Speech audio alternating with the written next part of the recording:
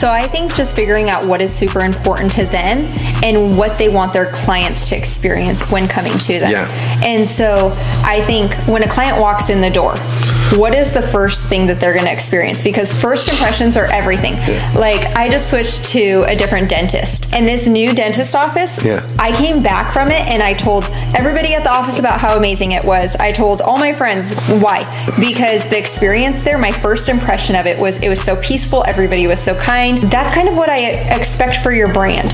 So before the clients even get to you, your clients should know what they're going to be walking into.